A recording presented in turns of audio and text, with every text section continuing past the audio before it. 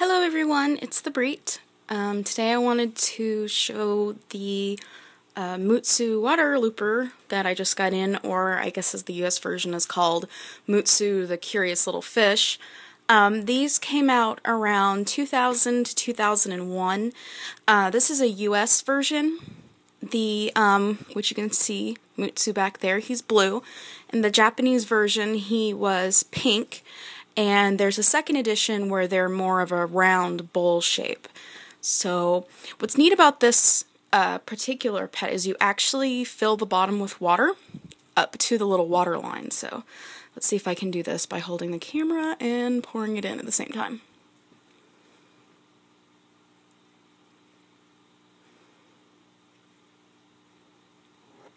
Okay, so he's got a little switch over here to turn him on, but I notice that he doesn't really do anything until you hit one of the buttons. Now he reacts to sounds, light, and the feeding buttons, which one of the feeding buttons is a fish, and I thought that was kind of weird because, you know, I guess he looks kind of a little too cute to be eating another fish, but oh well.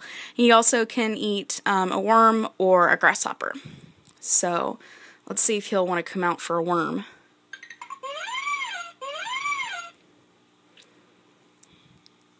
I don't know, he's shy. This is the microphone, so sometimes if I don't want to like talk to him like, you know, constantly be jabbering, I'll just kind of rub my finger across it and he'll react to it. Now, when you first turn him on, he'll be shy and he won't want to come out. Um, I haven't reset him. He, I've been playing with him for a little bit, so he'll probably come out sooner than if I first just started him up. The reset button is right here. You just stick something down in it like any other pet. But let's see if he'll... Oh, here he comes. He's visiting with his little friend here.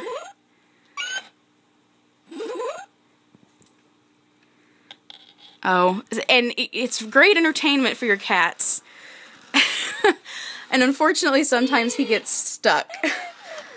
but, um, you're interested in that, aren't you? He's making all kinds of noises today. Let's see if he wants another worm. I don't think so. Now, if he's full, he won't react to the buttons, the food buttons. Oh, but it looks like I made him pretty happy.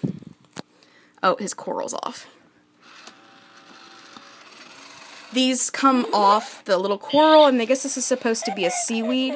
And then there's this weird little, like that little piece there, for some reason comes on and off. I don't know what the purpose of it being there is, because you don't really ever see it, but he rubs up against it. I, I don't know. It's it's kind of weird, but it's really cute. And he just he swims around a lot, and like when he swims around constantly like this, it means that he's happy. Um, sometimes he'll start making noises, and um, you can kind of tell he's hungry.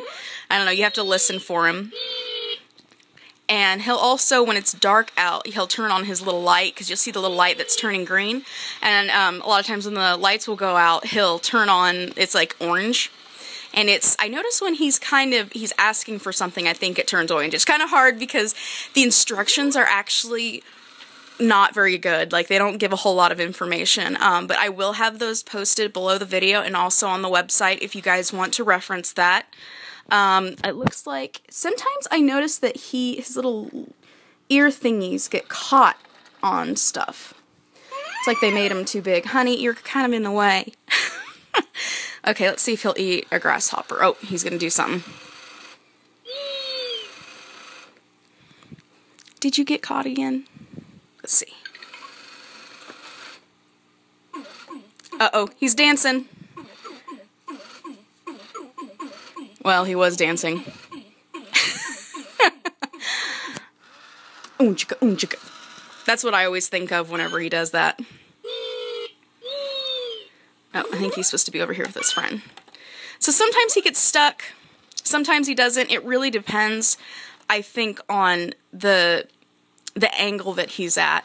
But still, it's really cute. I've had him swim in circles for like a good hour just by himself, and occasionally him reacting to me saying something or rubbing on this part. And uh, here he goes on his rounds again. It's really entertaining. Um, I really like it. It's something really cute to have. Um, especially, I really wish I could take it to work and have it on my desk at work, but that'd be kind of loud in the office. But um, I, I really do highly suggest this. I managed just to pick this up used on eBay for a hundred. Um, I've seen these go anywhere up to 200 $250. So if you see one, I do highly suggest getting one. Um, just make sure that the seller does say that it works because I have heard of other friends having them and they'll just go in circles and they don't really do anything or react to any of the buttons. So just make sure that, you know, the seller says that it does work because um, I, I think they these might have a tendency to short out. Now, it shouldn't short out from the water at all because this plastic piece is solid and there's no like there's no holes nothing that's that makes it possible for the water to get down into this electronic base. So that's one really cool thing that because i was kind of afraid of that when i first saw it. I'm like well how do they keep it protected? But since it all uses magnets and everything that's how it works. Um, but it is they do have a lot of interesting ones. I think he got caught again. Oh no he didn't um, but they make like a turtle and like a dog, and uh, I'm not really sure why they think that's good to have them in water, but it's still really cute. So I'm definitely going to keep my eye on the other versions of these because they're really cute. But I just thought I'd show you guys this real quick. I thought you guys would enjoy it. So um, stay tuned. I'll have more videos coming up hopefully soon. Thanks, guys.